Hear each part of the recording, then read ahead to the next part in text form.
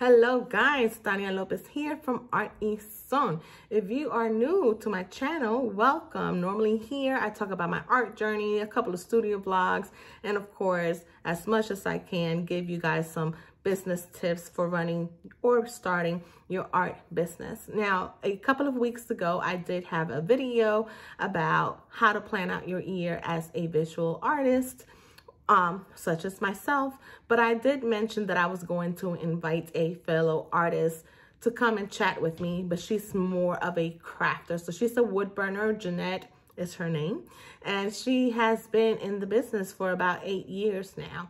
I wanted to go ahead and introduce her to you guys because she is one of the people that I have met here in North Carolina that has always been very helpful when it comes to you know, dipping your toes in different things as far as the crafting world goes.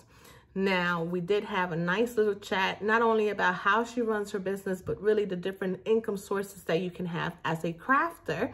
And I wanted to go ahead and get you guys on into the conversation. I hope you guys enjoy and learn something from it because I know every single time I sit down with Jeanette, there is always something that I get out of it because just like anything else, her business is always evolving, always growing and she's always into something new.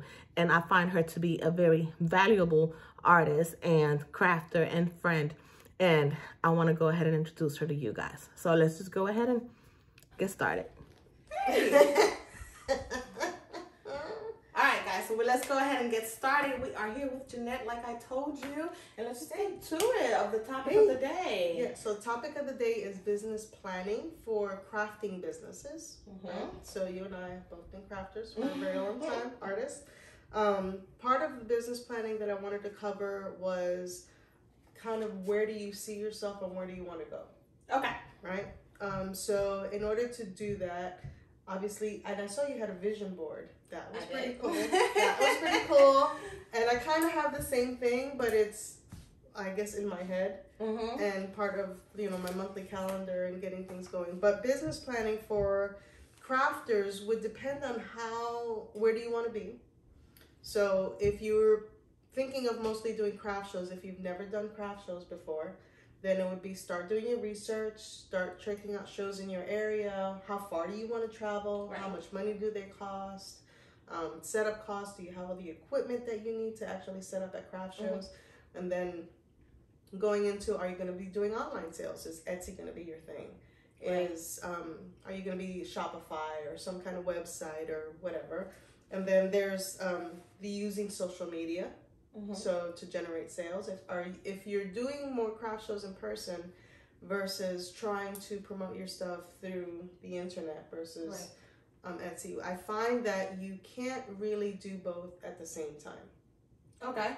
Time wise, okay, because in order to actually generate that kind of promotion, so everybody says, "Oh, go on Etsy," and some people are fabulously successful at Etsy, mm-hmm. but most people don't realize how much time it takes them to actually be that successful at Etsy. Mm-hmm. You know, Etsy is kind of like you have to manipulate it every day. You have to be on there, do a whole lot of cross promotion.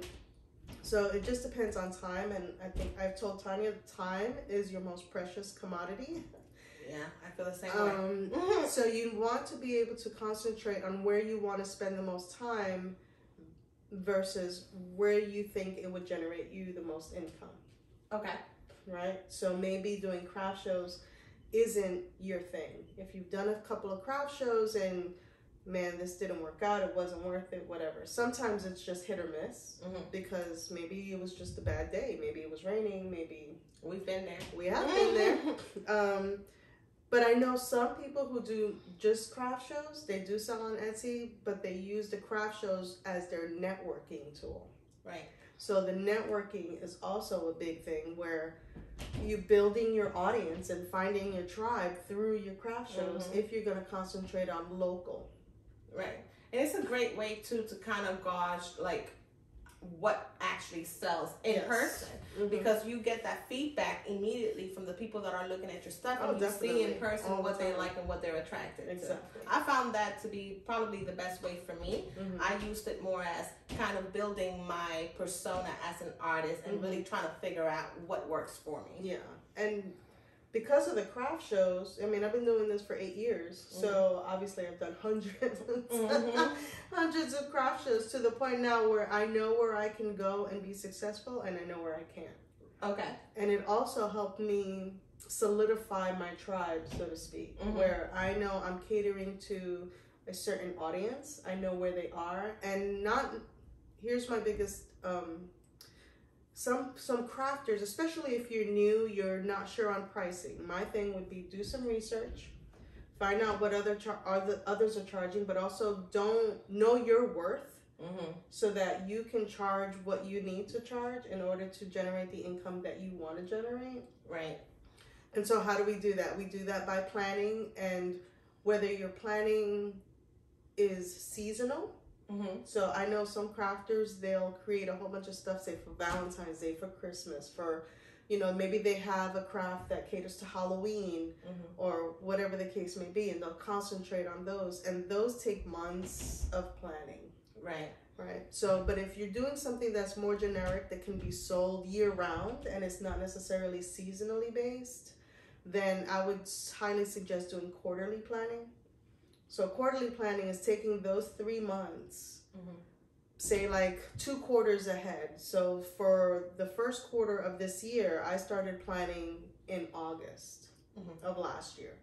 And again, that just becomes your time management and how you're where you're spending your time to plan. Because I know I have so many workshops, I have so many shows, I have so many speaking engagements, whatever the case may be. So I'm now getting the stuff ready for my workshops in May.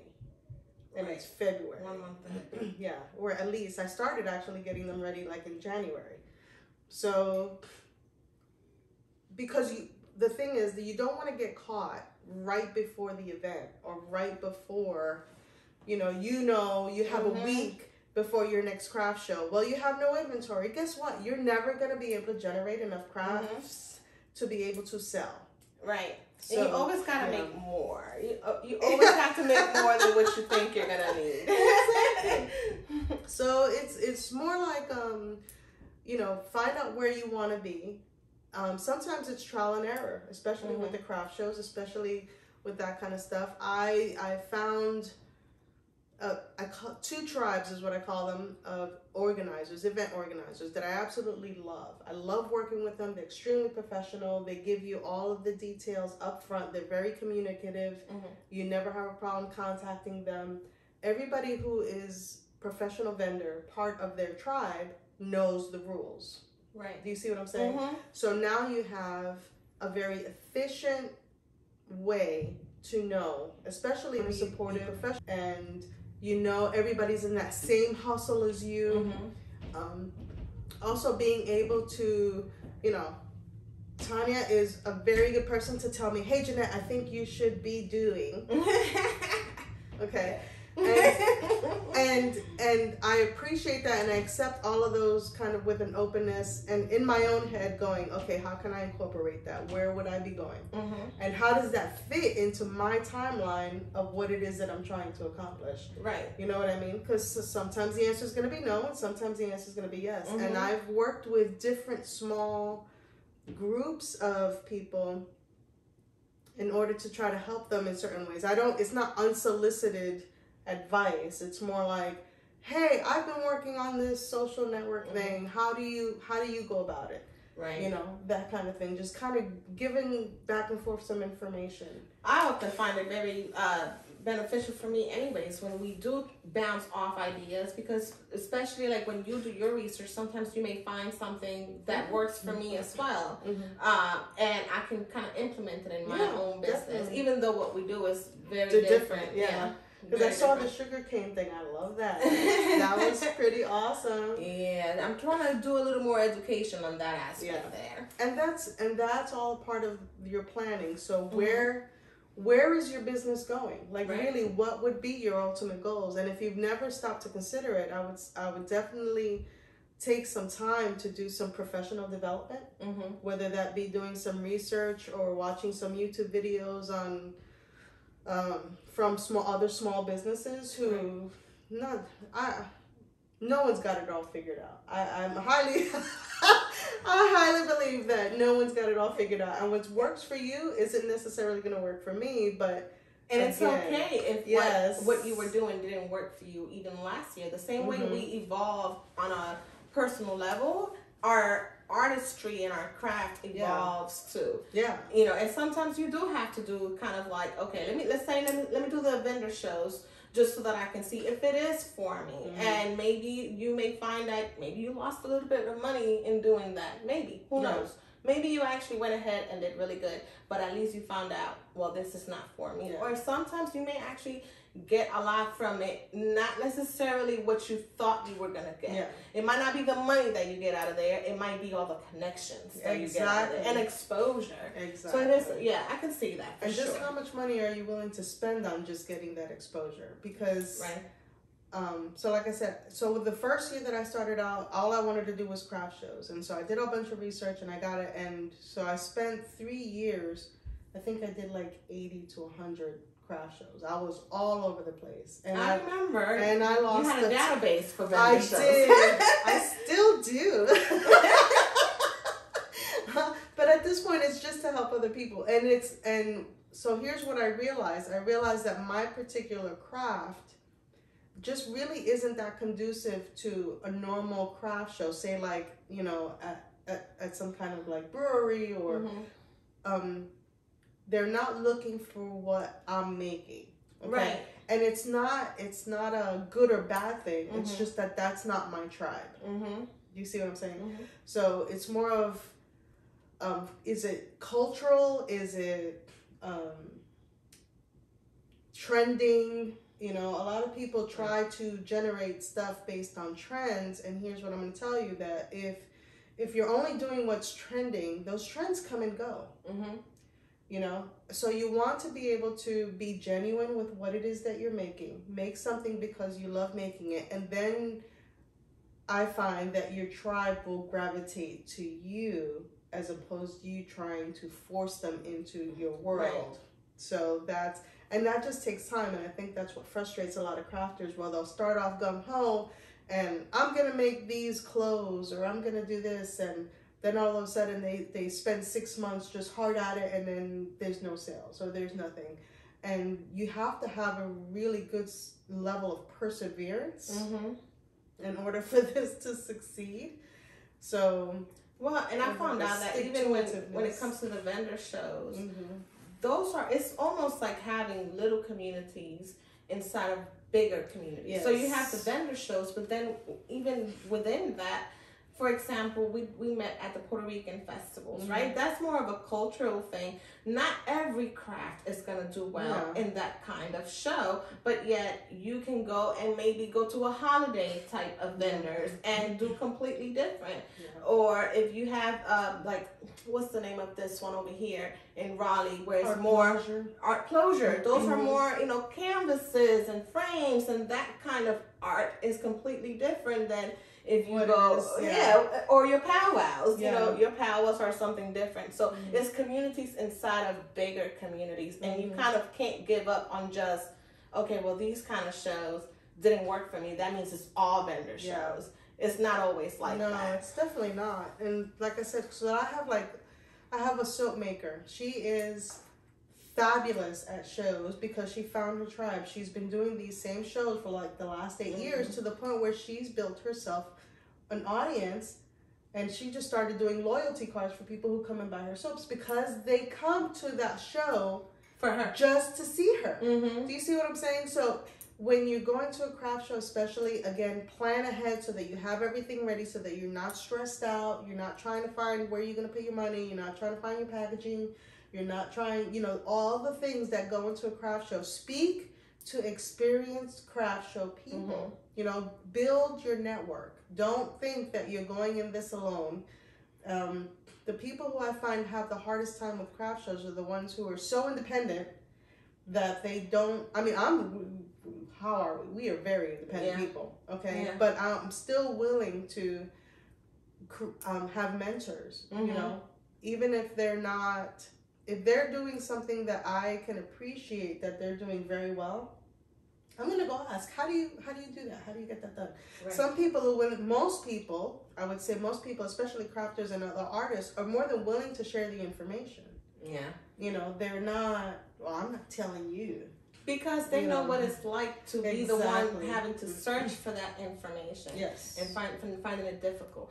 Okay, let me ask you something. So Mhm. let's say someone, a crafter, does want to focus on vendor shows, right? You talked about breaking your year up um, between seasonal or quarterly. If Mhm. all I want to do is vendor shows, then how would I break up my year? Would I break it seasonal, quarterly, by vendor shows? How would I do that? So I would start researching. So here's. It depends on what one your area. Mm-hmm. So if you start researching and you re- and like I live in a very remote area. I know anywhere that I'm going to travel for a show is going to be at least an hour away. Mm-hmm. Now, will that show be worth my time? So on Facebook, I mean, goods and bads on Facebook, I'm not dealing with that. But on Facebook, a lot of the vendors and the organizers will post their events. Mhm. There's a way that you can research that you can go in and see the reviews, see the comments that other vendors have put over the years. Um, Right. if- And look at the type of vendors that are coming up. Exactly. Mhm. because if you are a handmade vendor, research shows, not research shows, but research the shows Mhm. that cater to handmade only. Right. Okay, because there are a lot of event organizers that say that they're handmade, and then you go and you research the show, and it'll be paparazzi and A lot of direct Tupperware and sales. you know. And so, if that's not where you want to be um, clustered, Mhm. then just find other venues. Right. You know what I mean?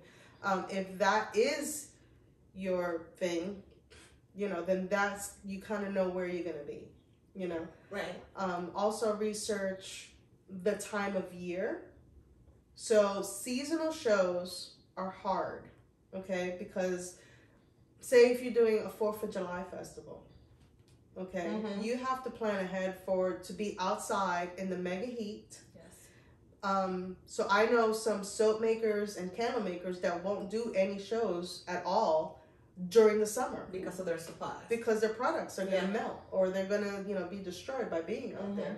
So that's what I mean by seasonal, as far as actual seasons, not holidays, but Mhm. those seasons. So Okay. if you're a crafter, crocheter, and all you make is knit hats and scarves, are you really gonna go to a show in the middle of summer? Correct. No. You gotta go to Stay way. away. No one is thinking about buying scarves and and hats. Right. So then you, as a crocheter, then you either have to make the winners your season, Yeah, or find a different product that Exactly. works during. exactly. Right. Gotcha. Yeah. So um, if you are a um, like the soap is soap is non-seasonal as far as because it's a consumable product. So if you make consumable products, then you have to consider okay like summertime thing. Mhm. But if if you can manage somehow to switch over into online sales Mhm. like Etsy or Facebook Marketplace or Shopify or something, where those people who are now addicted to your product can continue buying your product even if they can't make it to the craft show. Right. Do you see what I'm saying? Mhm. So that's where it starts to, the planning really starts to come into effect because you're going, okay, I don't want to disappoint my tribe. I've worked so hard, I've built up my audience. How can I get them the product without sacrificing my sales? You Right. know, by Mhm. not being at a show, so to speak. Um, Well, we did learn a lot too with the pandemic as far as how devastating it is for artists and crafters. oh, crafters yeah. when we don't have those vendor shows to kind of fall Mhm. back on. Mhm. You know, and I think kind of that's kind of also why I ventured off a little bit more to the online world. Mhm. Now, you did mention the social media, right? yeah. And you seem to use social media more to keep in connection with your customers and other crafters Mhm. rather than for sales. Yes. Am I right? Right. Okay. Um, and the reason being, so what I do is I, I do handcrafted wood burning stuff. Okay, what I've watched, you also have to watch the trends. What's going on in your particular crafting world? Okay. So what I noticed is several things happened towards the end of 2019 into the and it wasn't even COVID related. It wasn't it wasn't even really because of that. I had already started um, putting my workshops into place. Mm-hmm. You know, that took like six months of planning before I even launched my first workshop. I remember I yeah. remember that time, yes. So what I noticed was the trends in more people buying laser printers, mm-hmm. Glowforge, Cricut, mm-hmm. all of those technologically based things that were kind of trying to encroach and replace the handmade woodburn people. Mm-hmm. Okay, and it's not that even there's a there's a lot of us. There's not a lot of us in the community. There are thousands, but locally to me there aren't any. Mm-hmm. Like people really have to search me out if they want something that's hand drawn woodburn, but they can easily find somebody now who's doing laser engraving. Okay. So I had to start thinking and planning ahead of how can I replace my what I'm doing currently with something that would be more beneficial to me and more specialized where I can't be replaced by a laser printer. Okay. Do you see what I'm mm-hmm. saying? So that's how this whole sustainable, renewable thing and me working with gourds and bamboo and all that is because they can't stick a gourd in a laser. right. Do you see what I'm saying? Mm-hmm. Mm-hmm. so that it, it, it all part it's all part of the planning on where do you see yourself in a year? Where do you see yourself in three years? Where do you want to be in five years? And that planning starts now. And it can be just a little micro seed, you know, I say the size of a mustard seed. So start off small with just throwing down some ideas, whether that be a vision board, whatever. So and then start working being very deliberate in your decisions on how you're going to achieve those goals. Okay. Do you see what I'm saying? Mm-hmm. So if you are wanting to, you know, have a master online online business, you don't ever want to do a craft show. And mm-hmm. some people just don't. They're not social they, you know, you and I are like out there. Yeah. We're, we're laughing, we're joking, well, we're we conversing. have people that are moms and yeah, families. They have other mm-hmm. obligations. They don't necessarily want to make this one a full time. This isn't a full time job. Right. Whereas, you know, this is my full time job. Mm-hmm. This is your full time job. Well, not really full time job, but you, I got you. eventually mm-hmm. it can be. So, um, I just want to make a little bit of extra money. Okay, well, making a little bit of extra money in a handmade business is kind of like a fallacy because you have to put so much time mm-hmm. into doing it. Um, otherwise, it's just otherwise, a hobby and it'll yeah. just sit in your house. Exactly. So, but again, even realizing that if you're going to be going only online sales, even if you start an e-commerce website which again takes a lot of time it takes a lot of money to set up a website with e-commerce mm-hmm. and everything finding out all those little details that will frustrate you, make you bang your head against the table, that mm-hmm. kind of thing, to do getting um, exposure through like Pinterest. Mm-hmm. Or are you a video person? You know, do those things come easily to you? How can you generate people to drive traffic through your website so they actually even see your product?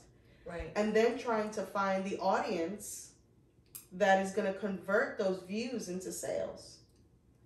So that again takes a lot of planning. You don't just throw mm-hmm. the spaghetti against the wall to see if it sticks with those things. You you have to have a very set plan and goals. So if you know, you say I can say, okay, by the end of next week, I'm going to have my Pinterest page set up. I'm going to start pinning and then again, you realize quickly Pinterest is a daily activity. It is, but it has to. But I'm saying, if you want to drive that kind of traffic, you have to dedicate the time. So. Right. I've gone there, gone that road, mm-hmm. realized I did not have the time, mm-hmm. time being my biggest commodity, to sit and play with Pinterest for three hours a day. Right. So, mm-hmm. kind of like, this is the thing. It's almost like you have to sort of make a choice, yes, right? If you're going to be in person in vendor shows, now you can either decide to do that for a short period of time so that you can pull mm-hmm. that that audience into your website, into your social media, mm-hmm. or you can choose to go the online route, which then in this instance, I would say, my personal opinion, mm-hmm. that social media is very vital if you oh, are yeah. mainly doing this online, mm-hmm. right? So with her, if all she's doing is in person stuff, right? Vendor shows and workshops and things like that, then really she utilizes the social media more just to kind of keep up with people, okay? Yeah. It's almost like a, hey, don't forget about me. I'm right here. Yeah. By the way, I'll be over here yes. next weekend. And mm-hmm. that's the way she's using it. She's mm-hmm. not necessarily using social media to sell. mm But as a crafter, if you do want to go ahead and just not do the vendor shows, then Pinterest or um, Instagram or Facebook groups, then those are the, the things that you want to go ahead and focus on. But they are time consuming. Now, mm-hmm. Mm-hmm. yes, in a way, it is a daily thing. But what I'm going to input here is it's not a daily thing in the I'm gonna sit down every day and post on Pinterest. Oh yeah. Because no. I'm gonna sit down one day and I'm gonna schedule for the whole week. Exactly. According to the social media, yeah. According to them, I'm there every single day. And you but I'm not. yeah, and you can do the same thing with Facebook and Instagram. And now Instagram. you can sit, but again, just plan the time mm-hmm. to say, okay, on Friday I am going to schedule all of my activities mm-hmm. for the entire week so that it looks like you're there in person every right, day. That right. you're not okay. You mentioned something like that too when it comes to your pictures and your images. You may be working on a project today, you're taking pictures of it today, right. but your social media or your online presence may not see it till weeks, later on. Weeks ahead. And so and and that I realized too because um people who concentrate on the social media aspect of it they they put themselves in a I, I will say they it's too much pressure. Mm-hmm. It's too I much pressure that. to come up with content and images for every day of the week. Mm-hmm. And some people are just obsessed with it. And, and so I post once a day.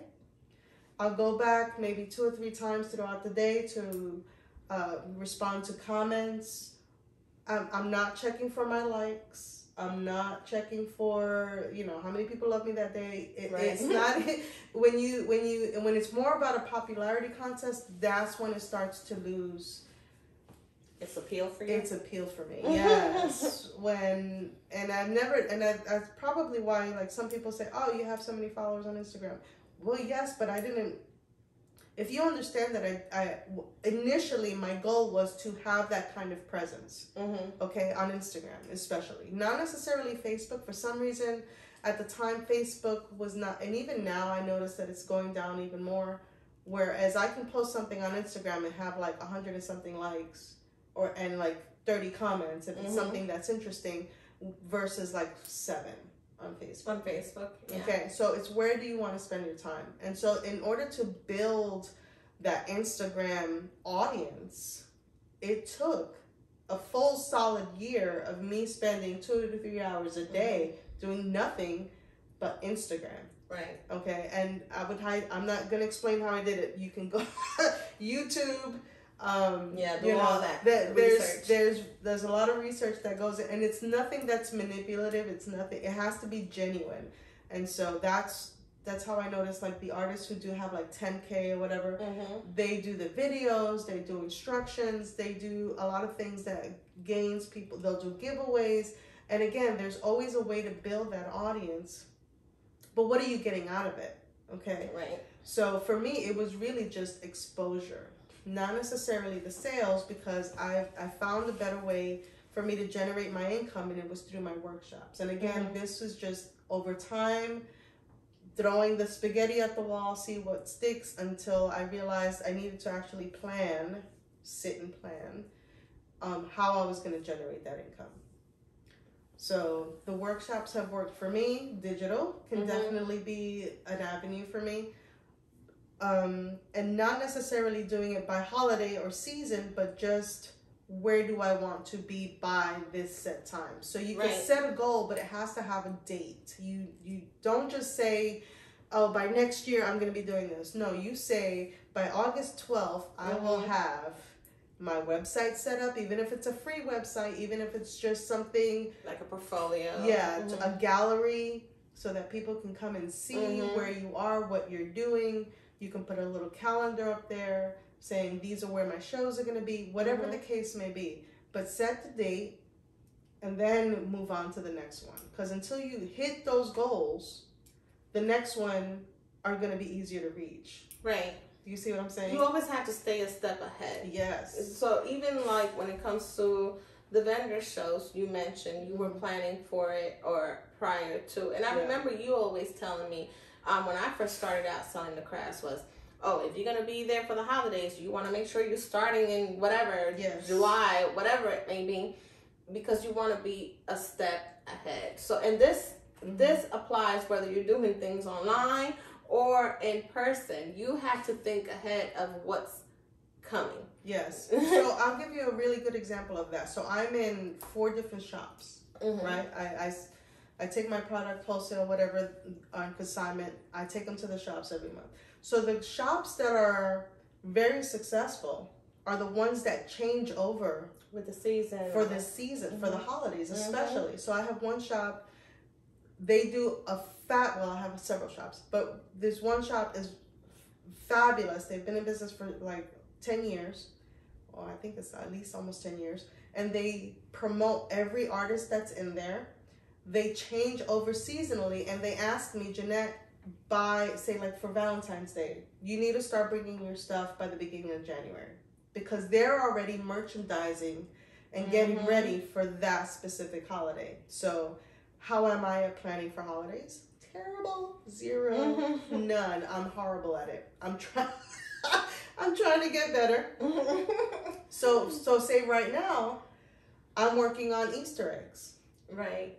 Why? Because I need to get them to my shops because by that time. by by the time Valentine's is over in just a few days, they're already changing over for Easter. Do you see what I'm saying? Mm-hmm. So I need to get if I want my merchandise to sell, I need to be on their schedule. So here's part of the business planning for handcrafted people. Don't just go by your own schedule. See what's going on around you. In your community. In your community, especially if you plan on selling at shops and doing consignment or some kind of wholesale. That if you get there a week before Christmas to sell your Christmas stuff, your stuff's not going to sell. Now, you're done. As far as consignment, right? Mm-hmm. Now we're talking about more seeing what's in your local community and what do you suggest for crafters to of how to make those kind of connections so you can contact the shop owners directly sometimes it'll be a referral like somebody who's in a shop already they may say you can ask them how do you do in that shop because not all shops are created equal Mm-mm. okay here's um, and I've had some people reach out to me and say, "Oh, well, do you think a fifty percent consignment fee is high?" Uh, yeah, but here's what you need to take into account: anywhere between thirty percent and fifty percent is the norm. Okay. A fifty percent consignment just means that you price your items fifty percent higher, mm-hmm. just to make sure that you generate the income that you're wanting to generate out of it. Okay. And okay, so then let's let's take it back just a little bit. Mm-hmm. How can crafters who are just getting in or whatever it may be, how can they spot these kind of consignment stores? Because I know I've noticed this like the ones that would say either a boutique or a local yeah. uh, art and frames kind of thing. Those are different kind of shops. Yeah, so it's different. We're in the south, so a lot of them will be like southern, whatever. but you need to. So here's my, my biggest thing is you just need to get the footwork in. You mm-hmm. have to go and visit. And the same thing with the craft shows. Go and visit them before you actually apply to them. Mm-hmm. You know, obviously this is going to be like a year out, but go and visit them, talk to the shop owners, see how they treat you as a customer. Mm-hmm. Okay? Notice how they're merchandising. Do they take care? Are they rotating their merchandise? Will they make sure that you're seen? Um, because there's some shops that I've been in and my stuff has just sat there for years. Right. With uh, without anything. But you have to make sure yeah. that that shop fits your yes. crafts too, because I know here I'll see stuff that are different. Like I've seen so some consignment shops that maybe they are more prone to go for like the jewelry makers Yeah. or other ones are more beachy so they go for Yeah. you know the soaps and all that stuff and those are the ones that they cater to and always make sure at least what i see is that they are given that local artists grow they'll they should have some kind of business cards or follow so and so it should Yeah. be in that area Or if they're on social media, just check because everybody. This is hope marketing is not marketing. Okay. Mhm.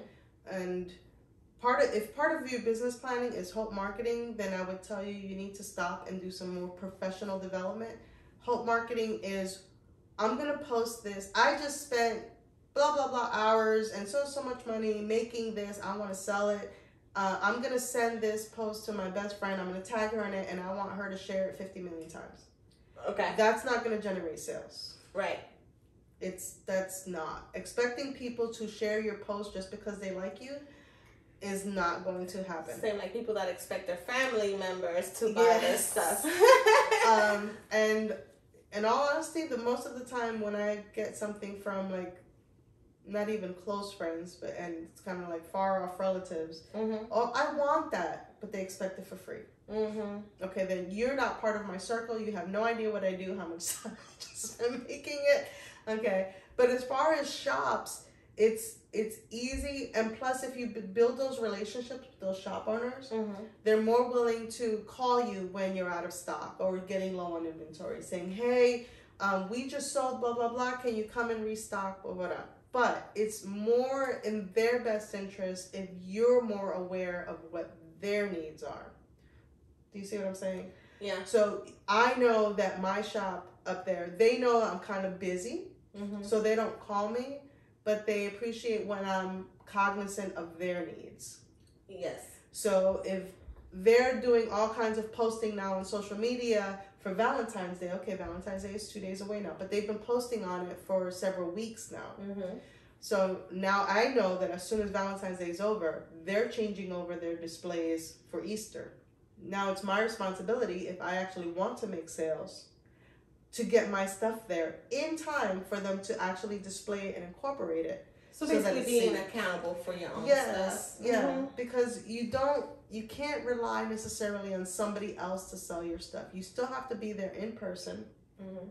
You still have to maintain a good inventory mix. So even if you're not creating stuff necessarily seasonal, how can you incorporate your stuff so that it's seen at all? Whether that be through social media, maintaining, rotating your inventory on Etsy. Because people, okay, I have an Etsy page. I do. I have one thing on there. I got an email the other day that says visits to your shop one. And I'm like, why did it even bother?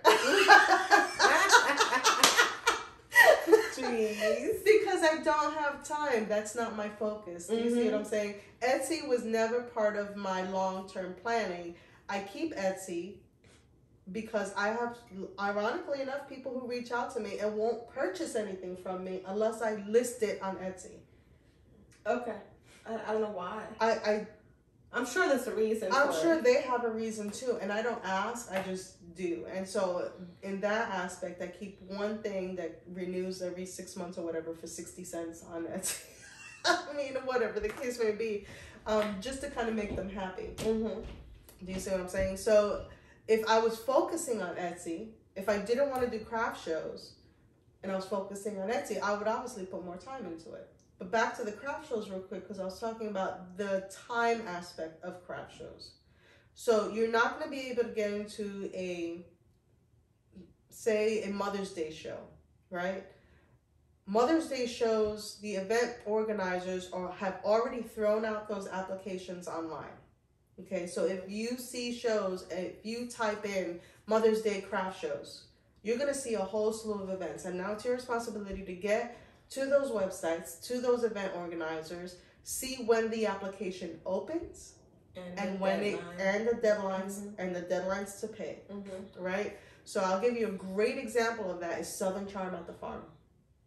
I don't know if you've ever heard of that. It's I a huge, huge show. Okay, there's like 300 something vendors. They build up the anticipation for when the application is going to open. And I think they give you two days, two days for Yeah. to apply, Mm-hmm. right? I mean, I'm talking about this is time.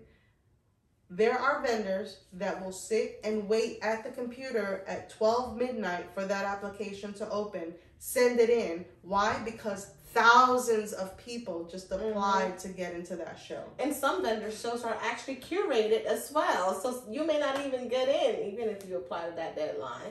Exactly. You gotta fit their their theme Yes. or whatever it may be. Exactly. And you have to be able to go by, abide by their rules. Mhm. I mean, like I said, planning ahead because if they say white tent only Mm-hmm. and you submit the application and then you show up at the event with a blue tent, You're not gonna set up. they're not going to let you set up. You are not setting up. And I did see that It when I first you can't started. follow the rules. That's why.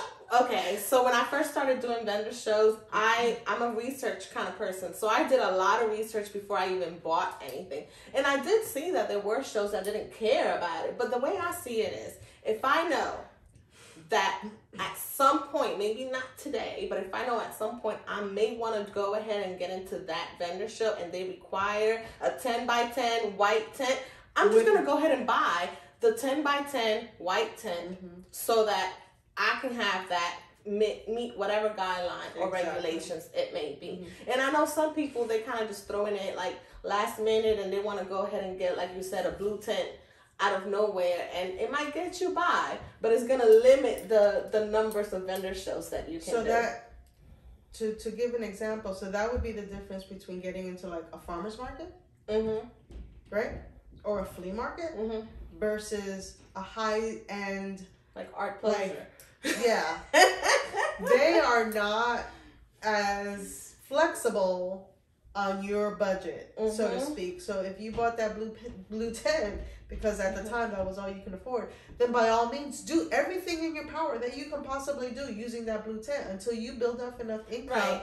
to go ahead and upgrade yourself. You should be constantly looking to invest in your business. So here's again part of the planning.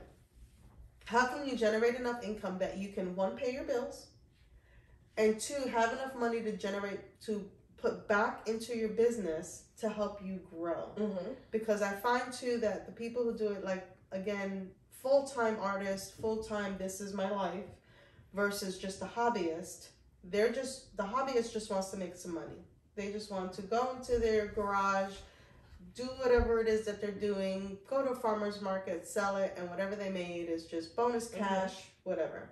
While the full time artist is, th- their goal is more business oriented. And so business planning, so that's marketing, advertising, um, upgrade of materials, upgrade of, you know what I mean? So it's the difference between going to the dollar store and buying a set of coloring pencils Right. versus going to like Hobby Lobby and spending, you know, a hundred dollars on the maximum Yeah, beautiful set all of art Christmas supplies. You see like what I'm that. saying? Mhm. So it, that's what I'm talking about. That's part of the planning. The planning is being able to invest back into your business. Where do you want to be? Also, if you're going to be doing craft shows, make sure that you have the money available to pay for the fees. For the fees. And not only the fees, but the food that you're going to spend, the travel money. Mm-hmm. If you have stay, to if you have to yeah, stay. yeah, hotel if you have to if you have to do that. Like I'm planning right now. I'm planning to go to Georgia. I mean, on my calendar right now, I have Georgia, I have Maryland, I have Virginia, possibly Pennsylvania, um, Cherokee, North Carolina. I have to make sure that I have enough money to cover my hotels once I get there. Mm-hmm. Yeah, gas, food, you know, gas and everything. So it's not just, and also making sure that when you get there, that you actually have enough inventory and that you found your tribe and that you've done the research in the area to make sure that you actually have enough sales, not only to break even so that you've covered all your Yeah. travel expenses, but to generate income because Mhm. that's the goal, right? We just want to make money. Mm-hmm. So, you know, it's one thing to do what you love, love what you do. How do I love what I do, do what I love, and still pay my bills so that I can, you know, drive my Survive car and have somewhere to live? Survive off of it. Yeah. So, okay, really quick. So we talked about um, vendor shows. We talked about selling online. Mhm. Um, we talked about finding places in your local community, such as consignment stores, mm-hmm. to sell. So those are three sources. We were before that we started recording. We were talking about a fourth um, resource. Well, really more like four and five, okay? Because she kind of touched on it in it's workshops. So now we're not talking about making money off your crafts, but rather making money off your skills. Yes. Right? Mm-hmm. So right now, Jeanette does workshops in person. I did kind of touch bases on turning these kind of workshops in more of a, what do I always talk about? Passive income. Passive income, right? That is my number one goal for 2022 is creating passive income. So I did touch basis on that, but it does bring two other sources of income mm-hmm. for crafters, kind of getting out of that box. Like, okay, I make my product, it is absolutely wonderful. But if you're trying to make this a long term thing, mm-hmm. what other sources of income yeah. there are? And so workshops is one of them. Yeah.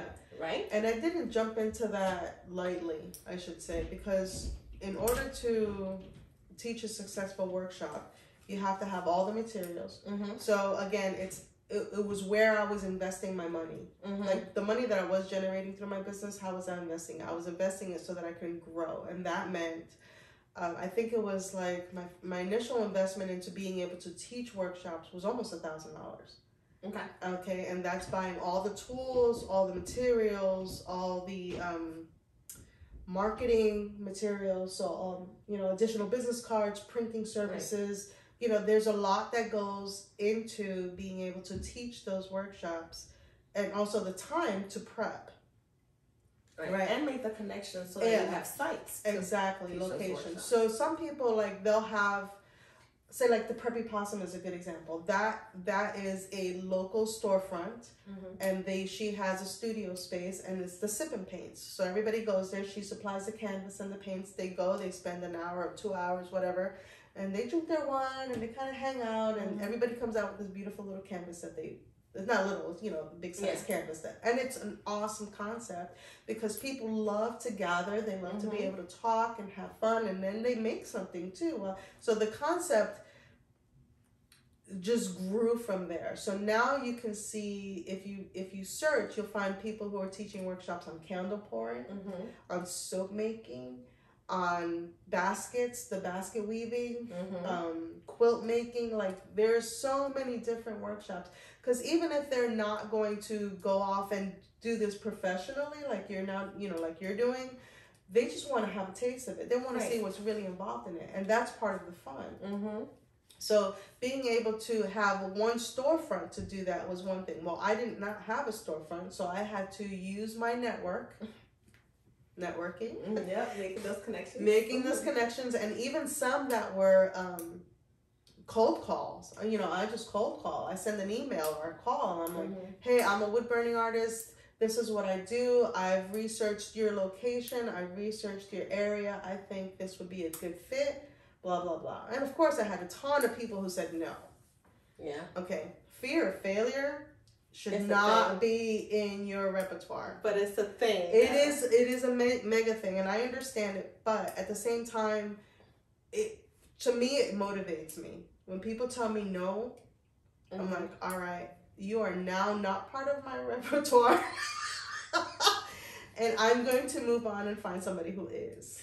But you do also have to be sure of yourself and yeah. what you're bringing to the table. Mm-hmm. And you, when you are making these phone calls, you can't go in it doubting yourself. And don't get an attitude about it either. Like, right. do not ever burn bridges. Mm-hmm. Um, so, like, even those people who told me, no, I don't think it's a good fit, they know something more about their area and their tribe that I don't know. Right. So there's a reason they said no. Mm-hmm. And I'm not going to sit there and force them and try to convince them that I'm the best or I you need me there. That's mm-hmm. that's not going to happen. I don't do that. It's more like oh cool okay how can this happen how can we make this happen where do we go from here mm-hmm. okay and then what ended up happening is because i've been i've been doing this this is going into my third year now with workshops. Workshops only. And because it's kind of gone far and wide, I've adapted so that I can do homeschoolers as well, um, seniors.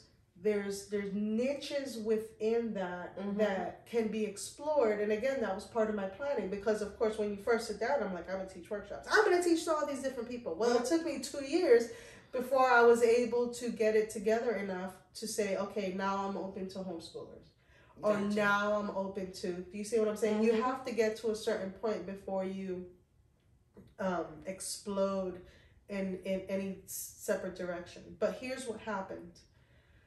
Just from the exposure like i said i use social media as an exposure. Mhm. i use it for my networking. I don't use it necessarily for sales, sales. i can. At any given time i can i can definitely turn myself over and say okay now i'm selling from facebook um, it generates its own sales through custom orders. People reach out to me and they say, "Oh, they like what I'm working on, or they like a workshop, Or or, whatever." Yeah, they'll like they'll that. reach out to me, and I'm not relying on that. Do you, do you see what I'm saying? So, by having that exposure and showing how much fun people are having at the workshops and what we're doing and that they're learning something new and all that, it it it started a trickle of people now reaching out to me Mhm. can you come do a workshop with us? Right. So it's now no longer me trying to hustle, trying to find somewhere to teach a workshop. It's more like, can I even fit you in my schedule? That's a good thing. A It good is a good-. It is a good problem, but you, it didn't happen overnight. Like I Mhm. said, I'm going into my third year, and that's probably, like I said, the downfall on some of the crafters when they're starting on something like this is having the perseverance and being okay with the wait and with the word no. and with the word no. and with the word no. Because people tell me no all the time. You have no idea. And sometimes I come off strong. So it's, it's the just New Yorker. it's the enthusiasm, but being able to have that enthusiasm to show that you love what you do, Mhm. that's going to carry through no matter It'll what you're translate, doing. Whether yeah. you're doing a craft show, whether you're selling online, doing a little reel video, or or posting to social media. So here's what I will tell you as a handcrafter: if you are trying to sell your stuff, don't just put something like "made this today." Isn't it great? No one's gonna buy it. No one's gonna buy it Process. you have to share the connection. And here's what i mean by the connection. So if i create something so i'll show you. And i brought something to this so, so i it took i've been working on this idea for like i don't know if you can see it but it's a little flask. It's a gourd flask. Obviously i said i was working on gourds. But this is this tiny little thing. You know why i love this so much? Because it's tiny. I hand drew Mhm. the sunflowers and my motto on social media is hey sunshine. And the sunflowers kind of represent the sunshine for me. Mhm. so if i'm saying you know why i love this? Look at that beautiful little sunflower. Isn't that pretty? Like it just reminds me of blah blah blah blah blah. Mhm. do you see what i'm saying? Not so long not the big 15 paragraph story but you know Yeah. this is why this touches my heart. This is why I make it. And you'd be surprised at how many people would just, oh, Yeah, and some people Yeah. care more about the why you made it, not necessarily about the product. And I, I actually can think of one crafter right now. She, I'm not going to put her business out there, but the reason she crafts is to make money for something very personal for her. yeah. And people, they related more to her story and to her as a crafter and to her as an artist. They related to the person Yeah. more than they did whatever she was crafting. I mean, what she crafts, there's a whole, I don't know how many other hundreds or thousands of people that craft, but for some reason, that one personable moment is what makes a difference from someone Exactly. buying from you. And this is actually very important to um, when you're selling in vendor shows Oh, gosh, yeah. because a lot of the times they come in and they'll talk to you and they fall in love with you and that's the reason why Yeah. or maybe they saw your hey sunshine post right and they come looking and they for come you. looking for you i've had people come looking for me not because they didn't they didn't have much money to buy all the stuff but they just wanted to go and show Mm-hmm. Yeah. support and meet this person you know live and show them love and support in that way I just recently, back, I did a show in Wilmington, North Carolina. Mhm. Okay, Wilmington is four hours from my home. But the people that I was talking to, that I was had gourds. And they're like, oh, my dad does gourds, blah, blah, blah. I'm like, I'm, mm-hmm. I'm going to be teaching a workshop at the Gourd Festival in Raleigh.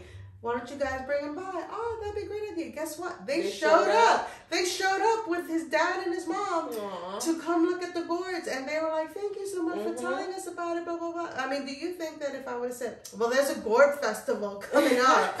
feel free to show up if you feel," you know what I mean? The whole attitude would have been different. They would have been like, "I ain't going to that show." Right. I'm just saying. I know. I yeah, I've seen that, and and, so and be ready to describe why you do your art. So obviously, but I I find that a lot of artists find that really uncomfortable. Like I feel like people, crafters and artists, really hate talking about themselves and talking about their work for whatever reason it may be. Then find another way. So even if it's putting a little descriptive plaque, print something up, put it on a piece of cardboard in front of whatever it is mm-hmm. and say i make these in honor of my grandma blah blah blah who lived in blah blah mm-hmm. blah who blah blah blah tell the story somehow and sometimes you don't even have to really tell the story so like when we were at the puerto rican festival in mm-hmm. greensboro i had done a plaque it was santa barbara right okay. i don't know if you remember that so and also don't be discouraged if your stuff doesn't sell at craft shows. It just means it hasn't found its person yet. Yes. Okay. Because I can tote stuff from show to show to show, and then I'll have that one person that doesn't even speak to me mm-hmm. and says, "I'll buy it." Right. Yes. You know, it's also like gauging your crowd. But the lady stopped. She looked at it and she stared at it literally for two minutes and my husband and I standing there, we're just watching her. I didn't say anything to her. I wouldn't even go up to her because I knew there was something moving inside of her by her looking at that that was more than me at that moment. Mm-hmm. Do you see what I'm saying? It wasn't about me at that moment. And when she finally turned around, I could see the recognition in her face. And all I did was nod. And she ran into my arms and she started crying literally ran into my arms and started crying. Now, of course, I had a price in my head for what I wanted for that. But with that kind of reaction, I kind of asked her, I, I just asked her, how much do you want? How much do you want it for? And she said, can I do it for this price? And I said, of course I can. Even if it wasn't the price that I was looking for because at that moment it wasn't about me mm-hmm. and it mm-hmm. wasn't about me trying to make the most money by taking advantage of what she was feeling by seeing that mm-hmm. do you see what i'm saying so sometimes it's it is the emotional connection yeah you know where it's it's not about oh, I just need to make as much money as I possibly can at that craft show. Yes, that is always a goal. You always have that at the back of your mind. But guaranteed there's people out there that are going through some stuff. And, and if, you just happen to be that the person for that need. Yes. Yeah. And whether it and it sounds stupid, but even if it's like the name of a soap, the name of a soap can or, trigger or a scent or a scent. Mm-hmm. Yes, or you know, like you do a lot of the Puerto Rican, so like the coffee pot Mm-hmm. You know, where we'll remember, I'll remember my grandmother mm-hmm. making coffee in that pot, and that's the reason I'm gonna buy that wallpaper or buy that digital print and have it on my phone or mm-hmm. whatever the mm-hmm. case may be. Do you see what I'm saying? It's those connections that you can build up, and I, and I get it. Some crafters, they there is it's harder to get to those. Do you see what I'm saying? Like they don't necessarily have the story. They just make it because they're doing trending like stuff. making baby clothes or headbands or stuff like yeah. that. Yeah. They just make to but again, even then, even though you to you your story may seem insignificant, it's not to them. And they may even when it comes to that, I think every crafter, if you really start thinking about why you began to do that specific craft in the first place, because okay, I just mentioned headbands you know but maybe mm-hmm. the reason you started creating baby headbands was because you're you know your baby or or you know your grandbaby or whatever. I, have met um I've met uh, instances someone's daughter had leukemia. You know she had lost her hair. She oh, was looking yeah. for the big bows and the big headbands, and maybe that's what made her do it. You know, and so there's always a story. So I think if you kind of figure out the why why you yourself are doing this and you actually share that, you never really know who is going to relate Mm-mm. to the story that you are right now. Yeah. Maybe the only reason you're doing this because you are a single mom just trying to make it, and someone can relate to that story, and they they will be there for you in yeah. some kind of way. So you just never know. When it comes to social media, I do think that it is very important to share a little bit of yourself yeah. All the time. Like I really need to go back and do like an introduction. Like whenever I gain so many followers, I try to say like, "Hey, I'm just in Jen. case, just in case you have not met me, just in case you haven't met me." Um, but to go back to the story real quick, so usually at my workshops, somebody somewhere somewhere along the line, somebody will ask me, "How did you get into wood burning? Mm-hmm. Just wood burning in general?" And I tell them the story. Mm-hmm. You know, whether or not they can relate to the story is something else, but it kind of gives them the why. Mm-hmm. It doesn't tell them how. Like, how did I get from just burning little Christmas ornaments to now teaching workshops? Because there is just so much more involved.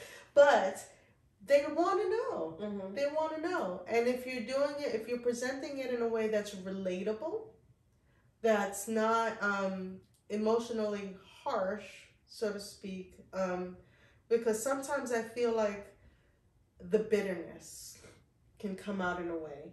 Um, Yours or no, no, no, not mine, but like just talking in general. Like I've met some. Obviously, I've done hundreds of craft shows, so like I'll go up to an, to a, a vendor booth and say the person isn't like really personable. Okay. Do you see what I'm saying? Mm-hmm. And you kind of feel like a bitterness, like they're mad that they haven't made any money yet today, mm-hmm. or they're mad that, you know, there's guy two booths down from them that has the same exact thing, and blah blah blah. Mm-hmm. That's gonna happen. It's gonna happen. All I've gone to shows where I've made zero dollars. Yeah. I mean, and I but instead of like being bitter, so like any potential customer that does come by, now you're just upset and you're complaining to the person next to you, blah blah blah. Have it show face all the time. Yeah. Smile. Hey, yes, thank you so much. Blah blah blah. You know, whatever the case. That actually kind of reminds me really quick, even though it, vendor shows mm-hmm. can basically be its own video, but let me just put this here regardless of the vendor shows that you do or even being in a consignment mm-hmm. store, never ever talk bad about the staff, the organizers, the promoters, none of that. You do not want to bash anyone that's in any organization because one, most of the times, regardless of the community that you're in, it's, it's a, small, small community. community. and you're not gonna get invited to places. You never know who knows who what. And uh-uh. I, have kind of been in the backdrop too. Like I've been in behind the scenes when it comes to creating and organizing, and I kind of feel a little more for them. They are under a lot of pressure, a lot of stress. So you just kind of want to go in there and try to make the best of yeah. any situation because we've been in places where we don't get the sales. Maybe it's colder than it was projected to be, or rain, like when we were in Charlotte. it rained. But you kind of just go and have a good time. If yeah. you go with that mindset, you, I'm sure you'll get something out of it. Mm-hmm. Even if it is just networking. Yeah. I mean, Jeanette and myself, we actually met through Instagram. Yeah. And that's that was our initial and connection. The and the first time we met in person was at a show. At a show. Mm-hmm. And let me tell you the value of that type of networking on Instagram. Okay. So like I post a lot of where I'm gonna be, where I'm where mm-hmm. I'm gonna be. So and I have people all over the US and worldwide. So that when I say, okay, I'm traveling to I had a show in Baltimore, one of my Instagram friends mm-hmm. said, Hey, I'm 20 minutes from that location. Do you want to come stay with me? What? Perfect. Of course. Yes. I would love to. Mm-hmm. And so mm-hmm. after the show, when I went back to our house, we sat and we had a couple of hours of just wood burning sessions. Gotcha. Just hanging out. We had dinner, we had laughs. It was it was so much so awesome. And it's like that is what I'm talking mm-hmm. about. Where it goes beyond just, you know, liking their post or whatever, but once you get to know these people a little bit more, they can be a bigger network. Mm-hmm. And if mm-hmm. I say I'm traveling to New Mexico. Who's got my back? Yeah. Oh, Jeanette, I'm in Tennessee. Can we stop at me for coffee? Of mm-hmm. course, I would love to. that just builds the community. It's a different kind of family. It is a different kind of family. but again, that could takes planning and planning ahead. So you you can't um like I said, I'm planning my schedule goes through right now through November. Mm-hmm. Right? As far as December I normally take off just to do commissions and and whatever, you know, Christmas gifts. Mm-hmm. People ordering stuff for me. But through November, so I'll put it on my website, I'll put it on my calendar, and I'll say, okay, I'm I'm gonna be here in October. Who's in the area? You know, or right. anybody want to stop and meet for coffee? But blah blah blah. Right. So now I'm not only advertising myself because I'm traveling to your area, but I'm advertising them who are local, mm-hmm. and I mm-hmm. can hashtag them and say, have you not met this local candle maker who is mm-hmm. right here in your area and is at this shop, as this shop, at this shop? Mm-hmm. I'm totally blasting them out into the universe. Right. By being able to plan ahead. I would never call somebody and say, hey, I'm showing up in two days. Don't do that. Don't do that. Why? You wanna, yeah, you want to make those connections. Because and... they have their own plans. Yeah. Do you see what I'm saying? Yeah. Yeah, I can so, see that. Yeah, I you know I have people do that like. Um, I'm I'm coming over. Oh no, you're not because I'm not there. but um, all right, let's yeah. let's go ahead and wrap it up just a little yeah. bit so we can go ahead and end sources of income really quick. Yeah. Vendor shows we yeah. talked about. Vendor shows, online sales. We talked about uh, yeah online mm-hmm. sales.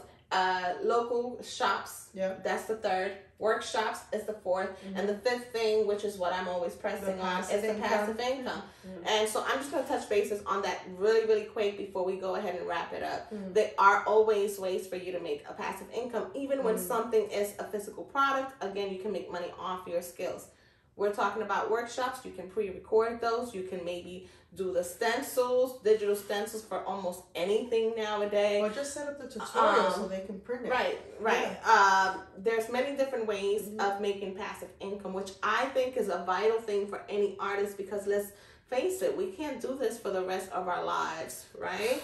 Unfortunately, we do always want to plan for the future, and that's just my goal. Is one thing that we always want to think about. Mm-hmm. But just to kind of yeah. End it just yeah. planning. Planning is everything.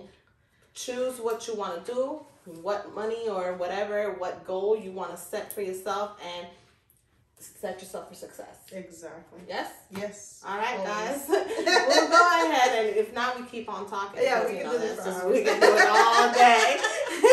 we'll see you guys next time. I hope you enjoyed. Please make sure if you have any other comments, concerns, questions, leave it in the comment below. We'll go ahead and answer. If you have a question for her, just ask away. I'll make sure to relay whatever it is mm-hmm. that you know she says, and I'll go ahead and make sure in the description I'll add all of her links, her Instagram, her Facebook, if you mm-hmm. want to go ahead and make that connection. Otherwise, we will see you. Thanks. Take care.